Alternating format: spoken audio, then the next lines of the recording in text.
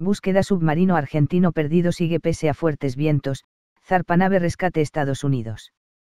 Buenos Aires, Reuters, un mini submarino estadounidense de rescate zarpó pasado el mediodía del domingo hacia la zona de búsqueda de la nave argentina perdida hace 11 días en el Atlántico Sur, en medio de una alerta por fuentes vientos. El buque Sofie Sim, encargado de llevar al mini submarino, salió desde el puerto de Comodoro Rivadavia, en la provincia de Chubut, hacia la zona de búsqueda del Ara San Juan, un submarino con 44 tripulantes perdido desde el 15 de noviembre, tras reportar una falla en las baterías. El Servicio Meteorológico Nacional dispuso una alerta por vientos intensos del sector, cambiando al sector sur hacia el mediodía, con velocidades entre 50 y 90 km por hora, con ráfagas, según indica en su página de Internet.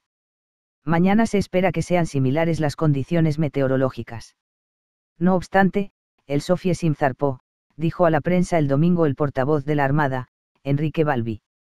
Las autoridades argentinas informaron el jueves que el submarino habría sufrido una explosión, por lo que muchos familiares de los marinos los dieron por muertos, mientras el operativo internacional se concentra en buscar bajo el agua rastros del navío. Sin embargo, pese a la falta de novedades sobre la ubicación del submarino, el portavoz aseguró no puede confirmar que no hay sobrevivientes.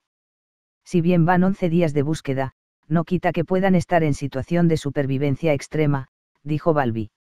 El buque que transporta el minisubmarino demorará alrededor de 24 horas en llegar al área de búsqueda, a unos 430 kilómetros de la costa y que tiene una profundidad de entre 200 y 1000 metros de profundidad.